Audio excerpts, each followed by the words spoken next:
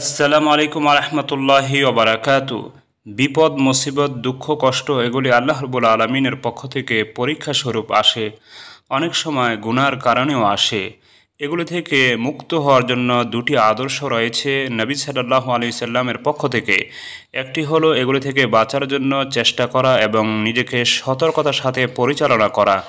দ্বিতীয়টি হলো আল্লাহ রবুল আলমী নিকটে দোয়া করা। আর আল্লাহ রবুল আলমী নিকটে কোন দোয়া করতে হবে সে সম্পর্কে প্রিয়নবী সাল্লাহ আলহিসাল্লাম আমাদেরকে অনেক দোয়া শিখিয়েছেন, অনেক আমল শিখিয়েছেন, অনেক জিকির শিখিয়েছেন। বিপদ, মুসিবত, দুঃখ, কষ্ট থেকে বাঁচার জন্য অনেকে কমেন্ট করে থাকেন কোন দোয়া পাঠ করলে, কোন আমল করলে আমার দুঃখ, কষ্ট, বিপদ, মুসিবত কেটে যাবে?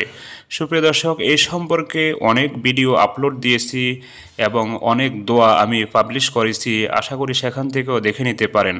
আজকের এই ভিডিওর মধ্যে অত্যন্ত গুরুত্বপূর্ণ একটি দোয়ার কথা বলব। যে দোয়া সম্পর্কে স্বয়ং প্রিনবী সাল্লাহ আলি সাল্লাম বলেছেন, বিপদগ্রস্ত, মুসিবতগ্রস্ত ব্যক্তির দোয়া হলো এটি। যে দুঃখে আক্রান্ত, কষ্টে আক্রান্ত, সে ব্যক্তির দোয়াই হলো এটি। তাই উচিত এ দোয়াটি যারা এই ধরনের সমস্যায় ভুগছেন, বেশি বেশি করে পাঠ করা। বিশেষ করে প্রতিদিন সকালবেলা কমপক্ষে একবার হলেও পাঠ করা। তবে সবচেয়ে বেশি ভালো হবে যদি নামাজের সেইদায় পাঠ করেন, কারণ নামাজের সেইদার মধ্যে আল্লাহ রবুল আলমিন দোয়া কবুল করেন। অনুরূপভাবে আপনারা নামাজে সালাম ফেরানোর পর অথবা নামাজে সালাম ফেরানোর পূর্ব পাঠ করতে পারেন। ইনশাল্লাহ একদিন বিশ্বাসের সাথে যদি কিছুদিন আমলটি চালিয়ে যান, তাহলে আল্লাহ রবুল আলমিন এই ধরনের সমস্যা দূর করে দিবেন।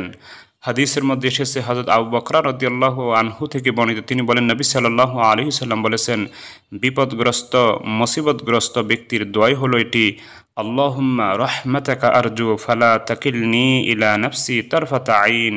আসলিহলি শানি কুল্লাহ, লা ইলাহা ইল্লা আন্তা। দোয়াটির অর্থ হলো, হে আল্লাহ, আমি আপনার রহমতের আশা করি।